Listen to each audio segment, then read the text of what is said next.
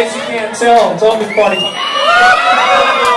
This is extra party time right now. All right. Party time! I guess so. I Showed you my I influence. guess so. Yeah. I'm doing it. Yeah! Every city you'll see is a winning pictures trying to find their identity through common popularity. There's no quality in not lacking reality.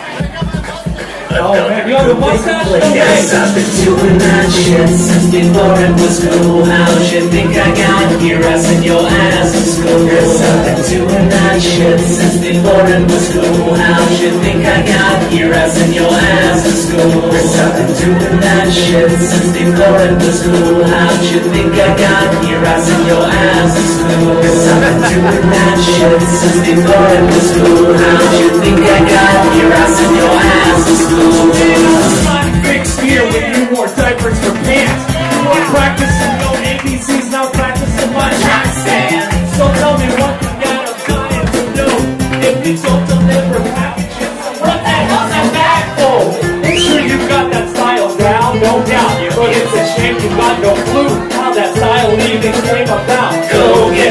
Get your studded put your big ass bag on. I find it kind of funny just how quickly trends catch on. Real hair like it don't care like all of his hands. Me, man. I got no hands. Cause I've been doing that shit since before it was cool. How'd you think I got here? I sent your ass to school. Cause I've been doing that shit since before it was cool. How'd you think I got here? I sent your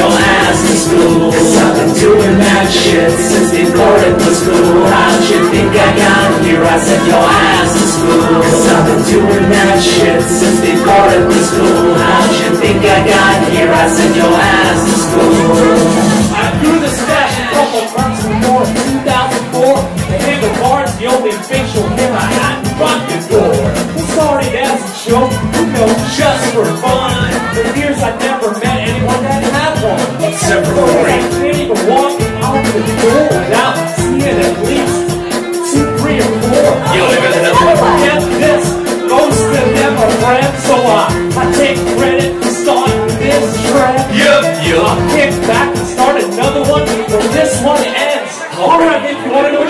Wearing next year. Cause I've been doing that shit since before it was cool. How'd you think I got here? I sent your ass to school. Cause I've been doing that shit since before it was cool. How'd you think I got here? I sent your ass to school. Cause I've been doing that shit since before it was cool. How'd you think I got here? I sent your ass to school. Cause I've been doing that shit since before it was cool. How'd you think I got here? I sent your ass to school. Fair. Master Marathon is not rocking a handlebar mustache. So that's okay. Alright. Well, on that note, Hey, Mike, Mike. yes, uh, what are you thinking there, DJ Slore? Um, I was thinking maybe you got rid of that fucking mustache. I think that sounds like a pretty good idea, DJ Slore. Right here? Who wants to see this thing go bye-bye? Seven years strong. Right here, right now. Let's shave this one part off.